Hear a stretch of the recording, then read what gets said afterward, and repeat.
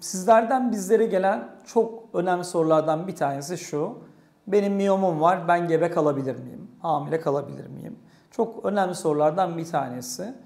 Rahminizin duvarında sadece bir görüntüde miyom var ve herhangi bir klinik duruma sebep olmuyor.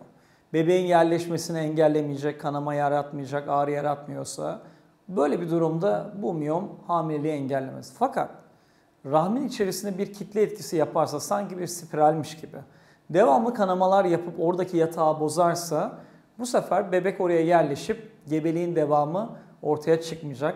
Bir de şu durumun belki de altını çizmek lazım. Belki hastamız gebe kalabilecek miyomlu ama özellikle bunlar büyük miyomlarsa gebelikte bazen yapıda bozulmalar meydana geliyor miyomun.